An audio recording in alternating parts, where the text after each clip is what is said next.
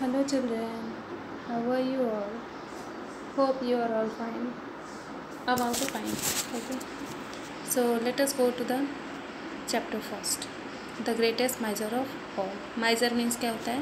कंजूस okay the greatest मतलब सबसे बड़ा. है ना? तो we will see its explanation bland okay so let us see so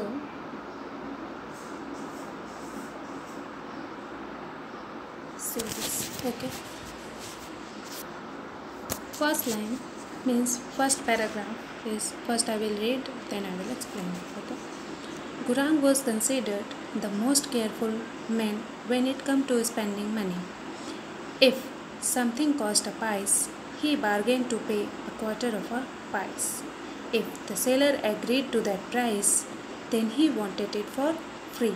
Gurang would not spend even the time of the day if he did not get something in return. Okay, so Gurang is a name of a man okay Gurang एक आदमी का नाम है। Considered मतलब किसी चीज़ के लिए चिंतित रहना। कंसिडर्ड मतलब किसी चीज़ के लिए जागरूक रहना है ना? और कभी कभी इसका मतलब होता है कि सोचना सोच समझ सोच समझ के करना है ना? ये भी होता है वो। सेंटेंस के अकॉर्डिंग होता है। और भाषा के अकॉर्डिंग होता है कि हम क्या करना चाह रहे हैं यूज़ ओके तो consider the most careful man most careful मतलब बहुत ज़्यादा केयरफुल मतलब क्या होता है? बहुत ज़्यादा सोच समझ के कुछ करना। केयरफुल मतलब सावधान, है ना? मैन मैन मतलब आदमी, है ना? यहाँ पे मैन प्लूरल है मैन है ना? मैन का मतलब एक आदमी, मैन का मतलब बहुत सारे आदमी। मतलब गुरांग की तुलना बहुत सारे लोगों से की जा रही है ना। माइजर है ना वो, है ना? When it come to spending money spend करना मतलब खर्च करना। मनी मतलब पैसे। समथिंग मतलब कुछ। कॉस्ट मतलब किसी चीज़ का प्राइस है ना? अपाइस है ना? पैसे ही बार्गेन बार्गेन मतलब बार्गेन मतलब मोल भाव करना, है ना? टू पे पे मतलब चुकाना क्वार्टर ऑफ़ अ पाइस मतलब आधे का जो आधा पार्ट होता है वन फोर्थ वो कहलाता है quarter okay it seller seller मतलब बेचने वाला एग्रीड मतलब सहमत होना एग्री मतलब सहमत होना, है ना? प्राइस मतलब कीमत देन ही वांटेड मतलब वांटेड मीन्स वांट का वांटेड वांट मतलब चाहना वांटेड मतलब चाह चाह, है ना? तो वांट का मतलब क्या होता है? चाहना, है ना? फ्री का मतलब क्या होता है? फ्री में, है ना? बोलते हैं ना फ्री बिना कीमत चुकाए होता है फ्री गुरा वुड नॉट स्पेंड स्पेंड मतलब खर्च करना, ऊपर बताया मैंने, है ना? और कुछ यहाँ पे हाँ रिटर्न रिटर्न का मतलब होता है बदले में, ओके?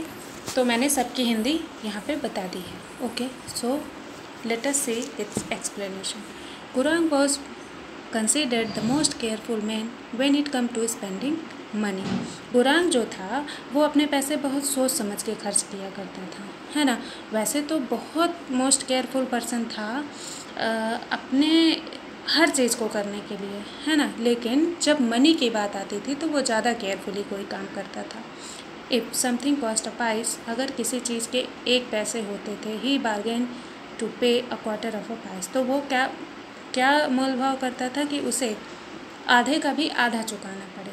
है ना? उस चीज़ की कीमत। If seller agree to that price और अगर बेचने वाला उस कीमत पर राज़ी हो जाता था तो वो सोचता था then he wanted it for free तब उसे चाह, वो चाहता था कि वो चीज़ उसे फ्री में मिल जाए।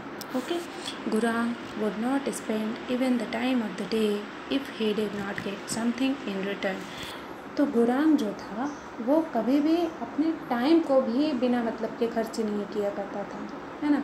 वो अपने टाइम भी अगर उसे, उसके टाइम के बदले उसे कुछ मिल नहीं रहा है तो वो अपने टाइम भी खर्च नहीं करता था। ओके होप कि आपको ये फ़र्स्ट पैरा समझ में आ गया होगा। चलिए, आगे देखते हैं। Latest move in second para okay One day, Gurang heard of another man, Narayan, who was said to be the greatest miser of all. We live upon very little, he said to his son. If anyone can live on less, then he lives on nothing at all. It will be worthwhile to find out how Narayan does it. He asked his son to meet Narayan and find out from him the secret of living on nothing है ना? तो one day एक दिन one day मतलब एक दिन. Heard मतलब सुना. अनोदर मतलब किसी आदमी के बारे में, जिसका नाम क्या था? नारायण था. Okay who was set to be the greatest major of all जिसे माना जाता था. Who was set to be मतलब क्या होता है इसका हिंदी? जिसे माना जाता था the greatest major of all सबसे कंजूस आदमी माना जाता था। वी लिव अपॉन अब वो अपने बेटे से बात करता है Guran we live upon very little हम बहुत कम चीज़ों में ही अपना गुजारा करते हैं।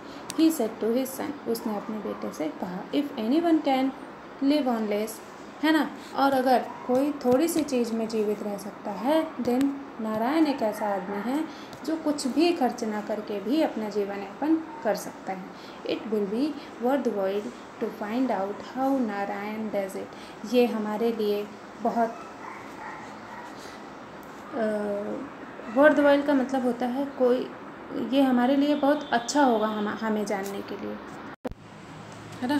ये हमारे लिए बहुत अच्छा होगा। To find out how Narayan does it हमारे लिए वर्थ वाइल होगा मतलब बहुत सार्थक होगा, बहुत उपयुक्त होगा हमारे लिए कि हम ये जाने कि वो कैसे बिना भी, कुछ भी खर्च किए वो रहता है। He ask his son to meet Narayan and find out find out from him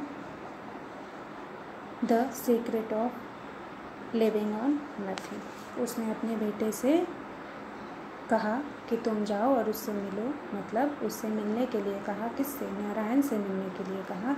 and उससे जानने के लिए कहा। ये सीक्रेट जानने के लिए कहा कि कैसे वो बिना कुछ खर्च किए रहता है। And find out from him और उससे पूछे, है ना? उससे जाने कि ये सीक्रेट क्या है? वन डे एक दिन Gurang heard of another man Gurang को दूसरे आदमी के बारे में पता चलता है, जिसका नाम नारायण होता है, जो कि सबसे बड़ा कंजूस माना जाता था। हम थोड़ी सी चीज़ों पे रहते हैं। अब वो गुरांग अपने बेटे से बोलता है है ना? तो if anyone can live on less अगर कोई थोड़ी चीज़ों में रह सकता है तो नारायण एक ऐसा इंसान है, जो कुछ भी खर्च ना करके भी, कुछ भी खर्च नहीं करता और फिर भी जीवित है, अपना जीवन यापन कर रहा है। It will be worthwhile ये हमारे लिए बहुत सार्थक होगा कि हम नारायण के बारे में जाने कि वो ऐसा कैसे कर लेता है।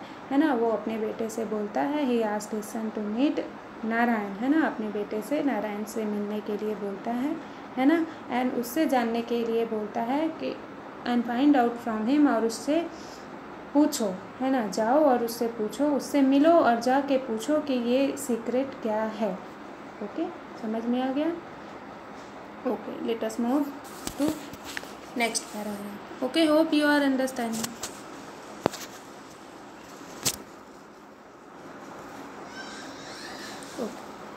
this is next according to custom Gorang had to send a suitable gift to Narayan as a gift sorry as a sign of his respect okay he found a scrap of paper tore it in two and drew a cow on one half he gave the piece of paper to his son and told him to keep it safe give this to narayan only he if only if he agrees to share his secret he instructed his son okay तो according to the custom है ना रीति रिवाज के अनुसार गुरांग है। देखो, ये एक आपस में आपस में एक व्यवहार जिसको बोलते हैं ना, होता है। हिंदी में जिसको बोलते हैं व्यवहार गिफ्ट्स का लेन देन जो होता है, वो एक व्यवहार होता है है ना? जो हम आपस में करते हैं, अक्सर आपके घर में भी होता होगा, सबके घर में होता है। According to the custom Gurang had to send a suitable gift to Narayan as a sign of his respect है ना? तो गुरांग क्या सोचता है कि उसे गुर नारायण के लिए एक गिफ्ट भेजना चाहिए। रिस्पेक्ट मतलब उसकी, उसके सम्मान में, है ना? सुटेबल मतलब उपयुक्त, है ना? तो गुरांग को एक सुटेबल गिफ्ट नारायण के लिए उसकी रिस्पेक्ट के तौर पर भेजना चाहिए। ही फाउंड मतलब उसे लगा। मतलब सॉरी ही फाउंड मतलब उसे एक पेपर मिला, है ना? A scrap of a paper to written in to वो उस पेपर को दो टुकड़ों में बांट देता है। टोर मतलब टीयर टीयर का टोर है ना? टीयर मतलब फाड़ना टोर मतलब फाड़ा। उसने उस पेपर को दो टुकड़ों में विभाजित कर दिया। Okay and drew a cow on one half है ना? और दो टुकड़ों में बांटने के बाद आधी जगह छोड़ के आधे में उसने काऊ की पेंटिंग काऊ की ड्राइंग बना दी ही। Give piece of paper to his son उसने वो पीस ऑफ़ पेपर अपने बेटे को दिया and told him to keep it safe और उस, उसे, इसे सेफ़ रखने के लिए कहा। अच्छे से रखने के लिए कहा। सेफ़ मतलब सुरक्षित सेफ़ सेफ्टी सेफ़ सेफली रखने के लिए बोला उसको, है ना? और क्या? काव की पेंटिंग जो उसने नारायण के लिए बनाई थी। किसने बनाई थी? गुरांग ने बनाई थी। ओके? और बोलता है। क्या बोलता है? Keep this to Narayan only if he agrees to share his secret he instructed his son और अपने बेटे से बोलता है कि ये, है ना? और अपने बेटे से क्या बोलता है कि ये पेंटिंग ये तुम गिफ्ट जो मैं तुम्हें दे रहा हूँ, ये तुम तभी देना जब वो अपना सीक्रेट बताए। कौन सा सीक्रेट लिविंग ऑन नथिंग जो वो कुछ बिना खर्च किए कैसे रह लेता है, वो सीक्रेट वो बताए, तब तुम उसे देना। इंस्ट्रक्ट इंस्ट्रक्ट करना मतलब इंस्ट्रक्शन देना जैसे नहीं होता है, कोई चीज़ बताना। जैसे हम लोग आपको बहुत सारे इंस्ट्रक्शंस देते हैं, निर्देश जिसको बोलते हैं हिंदी में, है ना? तो उसने अपने बेटे को ऐसा करके निर्देशित किया, है ना? तभी देना जब वो बताए, वरना मत देना, है ना? तो चलिए नेक्स्ट देखते हैं। The boy went to Narayan house the boy went to Narayan house the boy मतलब किसके लिए बोला जा रहा है? गुरांग के बेटे के लिए। वो लड़का जाता है नारायण के घर में। वो लड़का नारायण के घर जाता है वेन ही रीच देयर जब रीच मतलब पहुँचना। वेन मतलब जब। सॉरी ओके वेन मीन्स जब। रीच मतलब पहुँचना। रीच्ड मतलब पहुँचा जब वो लड़का नारायण के घर गया और वो वहाँ पे पहुँचा the master of the house was out तो उस घर का मालिक मास्टर ऑफ़ द हाउस का मतलब घर का मालिक। घर का मालिक कौन होता है? जो घर को चलाता है okay so the Narayan was the master of his house and he was not there okay he was not there in the house were there? Who was there in the house? Let us see. in next lines okay the master of the house was out his wife received the boy and heard from him the reason for his visit so घर पे कौन था Narayan's wife Narayan's wife was there in the house and she asked the reason of of his visit मतलब नारायण घर पर नहीं था नारायण की वाइफ घर पर थी तो वो गुराम के बेटे से उसके आने का कारण पूछती है। विज़िट मतलब विज़िट का मतलब होता है कहीं जाना या आना। तो वो आया था लड़का तो उसके आने की वजह वो उससे पूछती है है ना? देन पूछती है और वो लड़का उसको बताता भी है I am sure my husband मतलब यहाँ पे पूरा नहीं लिखा हुआ है। यहाँ पे सिर्फ़ दो एक एक लाइन में बताया गया है his wife received the boy जब वो उसके घर जाता है तो वहाँ पे उसकी वाइफ होती है है ना? और वो वाइफ जो होती है वो उसकी, वो लड़के को रिस रिसीव करती है ना? और उससे उसके आने का रीज़न पूछा होगा तो फिर वो अपने आने का रीज़न बताता है उसको। वो चीज़ यहाँ पे नहीं लिखी है। है ना, वो heard from him the reason for his visit इतना बस लिखा है कि हर्ड फ्रॉम उसने सुना, उससे वहाँ आने का रीज़न है ना, उसके वहाँ आने का रीज़न उसने पूछा और बॉय ने सब कुछ बताया उस लेडीज़ को, है ना, उसके वाइफ को। आई एम श्योर अब वो कह रही है उसके उत्तर में आई एम श्योर जब उसने सब कुछ बता दिया तो वाइफ बोलती है I am sure my husband will be happy to teach you what he can मैं पूरे उम्मीद आई एम श्योर मतलब मुझे उम्मीद है माई हस्बैंड मेरे पति विल बी हैप्पी बहुत खुश होंगे to teach you what he can तुम्हें सिखा सकें जो वो सिखा सकते हैं। जो उन्हें आता है, वो तुम्हें सिखा के वो भी बहुत खुश होंगे। सी सेड उसने कहा come back tomorrow and you can meet him then तुम कल आओ और तुम दिन उसे मिल सक, उनसे मिल सकते हो ओके होप कि आपको ये समझ में आ गया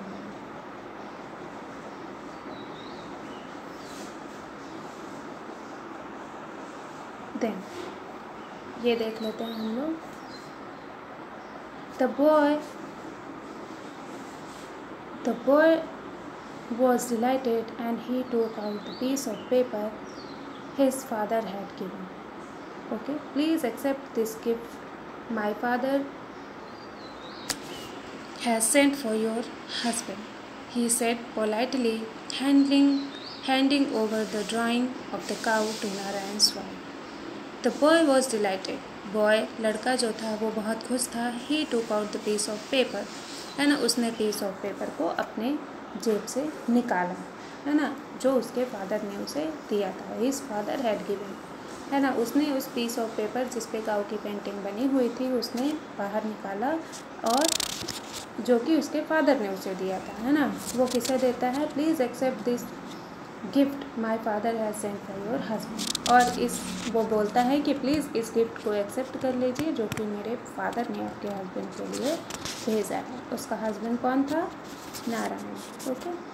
He said politely उसने बहुत विनम्रता के साथ कहा और अपनी जो हाथ में पेंटिंग थी, उसको नारायण की वाइफ को दिया, ओके? नारायण की वाइफ को उसने हैंड ओवर हैंड ओवर करना मतलब किसी को सौंपना, किसी को देना ओके तो उसने काउ की पेंटिंग नारायण की वाइफ को दे दी।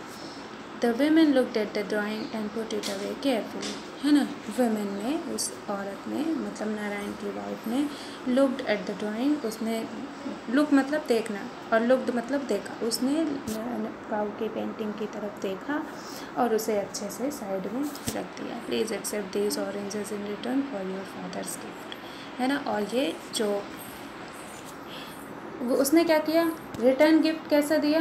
देखो please accept these oranges in return for your father gift कहती है प्लीज़ मतलब कृपया ये ऑरेंजेस एक्सेप्ट करो अपने फादर के गिफ्ट के रिटर्न में। रिटर्न गिफ्ट एक्सेप्ट करो, है ना? सी सेट उसने कहा।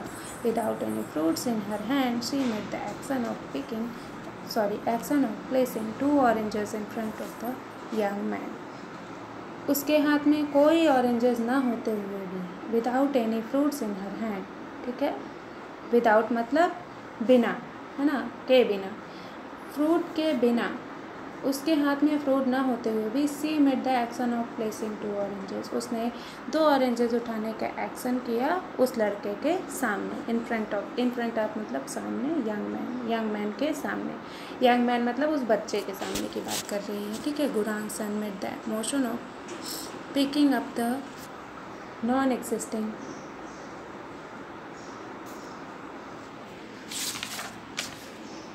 non existent oranges ठीक है?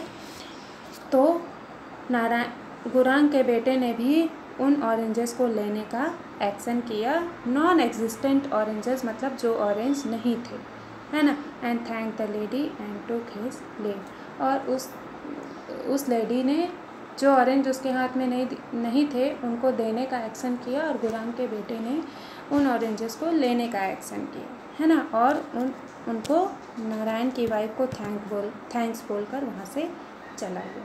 है ना? देन क्या होता है? लास्ट पैराग्राफ है। फिर Narayan return home his wife told him about the boy's visit.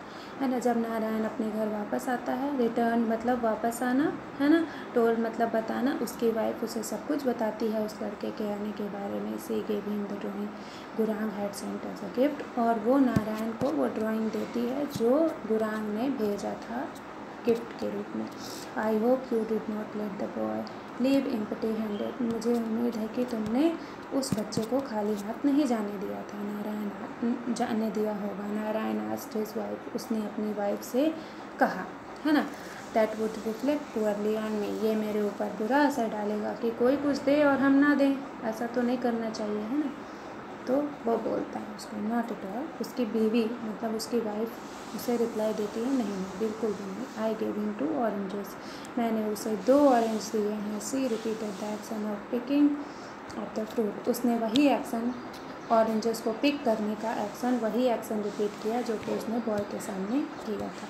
You wasteful women wasteful मतलब खर्चीला, है ना? यू वेस्टफुल वुमेन कितने यू खर्चीली औरत, है ना? ऐसे चिल्ला के बोलता है, उसे गुस्सा आ जाता है ना? वेस्टफुल मतलब खर्च करने वाला, है ना?